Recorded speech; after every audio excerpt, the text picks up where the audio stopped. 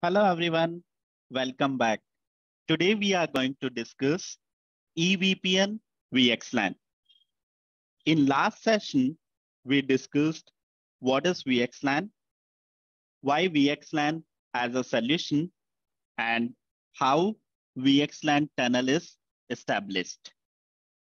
VXLAN is an overlay technology that allows us to extend layer 2 domain over layer 3 transport. As per this diagram, we are extending VLAN 20 from building 1 to building 5 over layer 3 transport. Overall, we can say VXLAN is another way of encapsulation MAC in UDP to extend layer 2 domain over layer 3 transport. VTEP, VXLAN tunnel endpoint. VTEP is a device that is a start or endpoint of VXLAN tunnel. VTEP is responsible for encapsulating the traffic and decapsulating the traffic. As per this diagram, VTEP1 is encapsulating the traffic and VTEP2 is decapsulating the traffic. We do VXLAN related configuration on VTEP, like VNI mapping, VXLAN network identifier.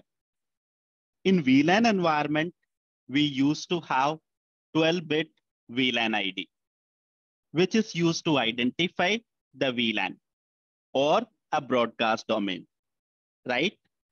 Same way in VXLAN environment, we have 24-bit segment ID, which is known as VNI. VNI is used to identify VXLAN segment. There are two type of VNI, L2 VNI and L3 VNI. Please keep in mind that in VXLAN environment, VLAN is locally significant and VNI is globally significant. NVE. NVE is a tunnel interface, which is logical representation of VTEP. Now, let's start with EVPN VXLAN. EVPN VXLAN is a combination of EVPN and VXLAN. EVPN is a control plane technology and VXLAN is a data plane technology. I am assuming that you have good understanding of control plane and data plane. Control plane is the logic that control forwarding behavior. For example, routing protocol. Data plane. Data plane is also known as forwarding plane. Data plane is responsible for traffic forwarding based on control plane logic. Let's talk about this with example. Let's say host one wants to communicate with host two. Host one and host two are in same VLAN, VLAN 10, but they are connected by layer three transport. So how we are going to get the traffic from switch 1 to switch 2?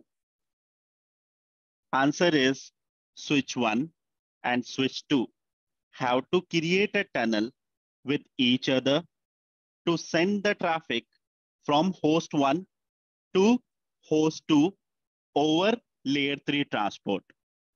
This is what VXLAN does for us. Okay. You may have questioned that how switch 1 knows to build a tunnel with switch 2, right? This is where EVPN comes in picture. We have different ways to discover VTEP, like flood and learn, EVPN. In this session, we are going to focus on EVPN, okay? EVPN uses MPBGP to exchange layer 2 information and layer three information.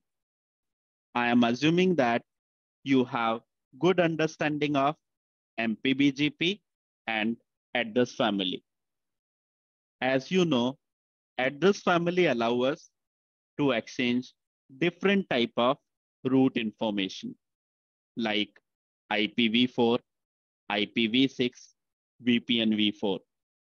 Same way, we have new sub-address family called EVPN that will allow us to exchange EVPN routes. Okay, now let's understand a bit more about control plane learning. Let's say underlay is up and running. Also, we have configured BGP EVPN between devices and peers are in established state. So when any host comes up, it will send GARP to inform that I am here. GARP is advanced notification, which is used to update others that this is my MAC address and this is my IP address. When leaf switch receives GARP, then it will learn the MAC address and store it in MAC address table. Also, it will learn IP information and store it in ARP table. Now, this MAC and IP information will be stored and advertised as a EVPN route to EVPN peer. In our case, it will be advertised to spine 1 and spine 2. Then these spine devices will advertise EVPN route to all other leaf devices.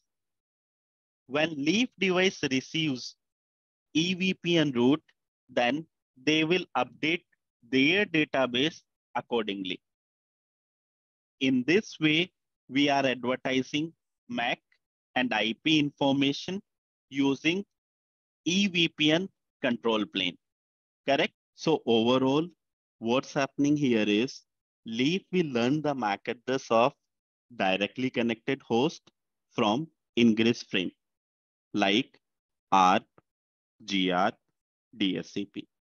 Leaf will advertise this information using MPBGP EVPN control plane. Remote leaf, leaf 2, and 3 will receive this information as a EVPN route and they will update their database accordingly. Same process will be repeated when any other host comes up, whether it is coming up on leaf 2 or on leaf 3. This is called control plane learning. Hope you understand that. Okay, let's say host 1 wants to communicate with host 2 host 1 and host 2 are in same VNI. When leaf 1 receive the traffic from host 1, will encapsulate the traffic and will directly send it to leaf 2 as leaf 1 knows that host 2 is behind leaf 2 via control plane learning, right? This is how EVPN work. Hope this session was useful. Thank you.